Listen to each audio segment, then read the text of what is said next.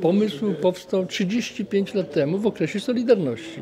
Ja byłem członkiem Solidarności i miałem pewne zadanie specjalne w regionie środkowo-wschodnim zorganizować konferencję o pracy ludzkiej. Wtedy akurat nasz papież Jan Paweł II wydał encyklikę o pracy, Laborem Exercens. To nas bardzo inspirowało, ale myśmy w związku zawodowym, Solidarność, interesowali się pracą od zawsze.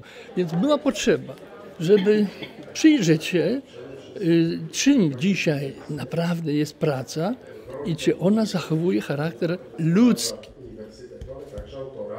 Istotą funkcjonowania człowieka jest przede wszystkim praca, więc jeśli ukazuje się dobra publikacja poświęcona pracy, to, to warto o tym rozmawiać i warto ją pokazywać. Też chcemy tą pracę dedykować e, naszemu absolwentowi Andrzejowi Bączkowskiemu, byłemu ministrowi pracy i polityki społecznej, e, bo to był człowiek, który rzeczywiście pewną ewolucję i rewolucję w tym podejściu do pracy wprowadzał. On ze swoją tą misją, ze swoją pasją, no chciał zmienić to oblicze Polski. Chciał właściwie przygotować Polaków do tego, żeby funkcjonowali trochę w innej rzeczywistości.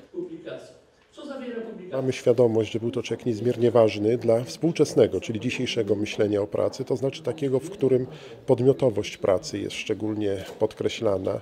Dwa, jest on taką, powiem nawet e, trochę może przewrotnie, ikoną czasów pracy, bo zmarł z przepracowania. Prawda? Także to jest też jakby taki, taki, taki moment, jak gdyby swoją osobą, swoją pracą, ale też i swoją śmiercią podkreślił e, też taki charakter czasów, w jakich żyjemy. Jako organizatorów tej pracy nad pracą było uwzględnienie zarówno